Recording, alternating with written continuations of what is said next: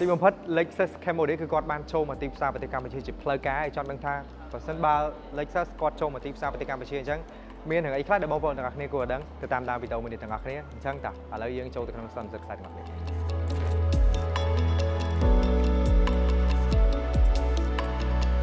អូខេអញ្ចឹងមានរឿងអីខ្លះដែលបងប្អូនទាំងអស់គ្នាអ្នកចាប់អារម្មណ៍ Lexus គួរតែដឹង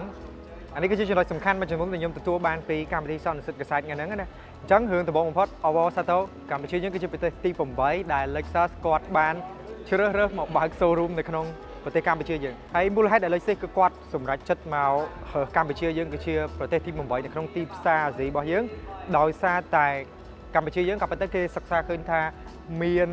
អ្នកដែលគាត់ប្រើឡាន Lexus ហ្នឹងគឺមានចំណាយទីផ្សាររហូតដល់45%រួចហើយអញ្ចឹងសង្ឃឹមថាឡានមកថ្មីនេះក៏ទទួលបានការ គ្រប់គ្រងច្រើនដែរហើយសម្រាប់ model ដំបូងដែល Lexus គាត់នាំចូលទីផ្សារប្រទេសកម្ពុជាដំបូងហ្នឹងគឺយើងមាន LX, LM, RX, NX ជាមួយនឹង LS ហើយនៅក្នុងហ្នឹងក៏មានប្រភេទ model hybrid ដែរអញ្ចឹងហ្នឹងដែរគឺមាន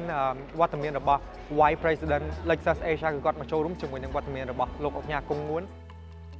ហើយសំណួរមួយដែលបងប្អូនទាំងអស់គ្នាចង់ដឹងច្រើនជាងគេថាតើបើសិនជាខ្ញុំទិញឡាន Lexus មកពីខាងក្រៅឡានមកទឹក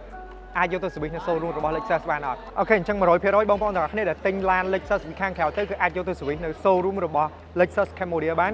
គ្រឿងបន្លាស់ original genuine part មកពីក្រុមហ៊ុន Lexus ផ្ទាល់ជាពិសេសសេវាកម្មក៏ដូចជាគុណភាព mechanic គឺគាត់បានទៅ train ពីក្រុមហ៊ុន Lexus ផ្ទាល់តែម្ដងអញ្ចឹងតាក់ទងជាមួយនឹងគុណភាពសេវាកម្មទៅលើគ្រឿងបន្លាស់ហ្នឹងបងប្អូនទាំងអស់គ្នាចង់បានរបស់ស៊ីនទៅ showroom របស់ Lexus ទាំងអ្នកដែលប្រើឡានថ្មីទាំងអ្នកដែលប្រើឡាន Lexus មកទឹក អញ្ចឹងសម្រាប់ការទិញ Lexus នៅទីផ្សារប្រទេសកម្ពុជាយើងគឺមានការធានា3ឆ្នាំឬមួយក៏100,000គីឡូម៉ែត្រជាមួយនឹង